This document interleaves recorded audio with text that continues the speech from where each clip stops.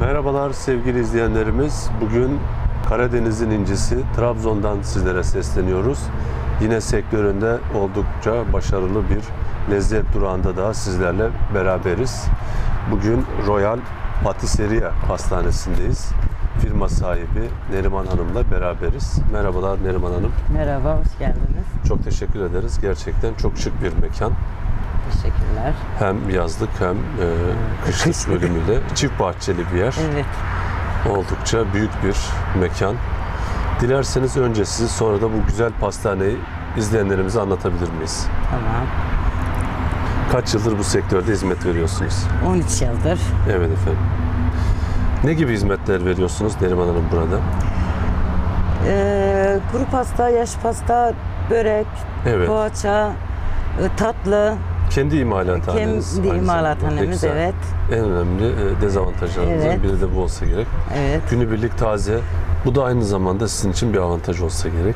evet. kendi e, ürünlerinizi imalathanenizde gerçekleştirip müşterilerinize taptaze sunuyorsunuz. Taptaze sunuyoruz. Ee, kaliteli ürünü, kaliteli e, personelle, e, hijyen bir ortamda. Ne güzel. Sunmaya Kaç kişi ağırlayabiliyorsunuz burada? E, 75 kişi falan ağırlıyoruz. Özel günler oluyor mu? Oldu, Partiler evet olsun, oluyor. doğum Kına günü. gecemiz falan oldu, doğum günleri Evet. yapıyoruz. Dışarıya servisiniz oluyor mu? Oluyor. Trabzon bölgesinde. Evet, Trabzon bölgesinde. Evet. En çok nerelere dikkat ediyorsunuz Neriman Hanım bu hizmeti verirken? En çok dikkat ettiğim şey e, hijyen. Evet Hmm. Temizlik. E, Bunlar benim için çok önemli. Sunum çok önemli. Evet. Ürün e, taze olmasına, E, kalitesine dikkat Kesinlikle, e, ediyorsunuz. tabii ki. Tabii Evet. ki belli zaten. Ne güzel gerçekten. Evet. İzleyenlerimize son olarak neler aktarmak istersiniz e, bu hizmeti verirken? Neler söylemek istersiniz? Doğru adres olarak neler aktarmak istersiniz?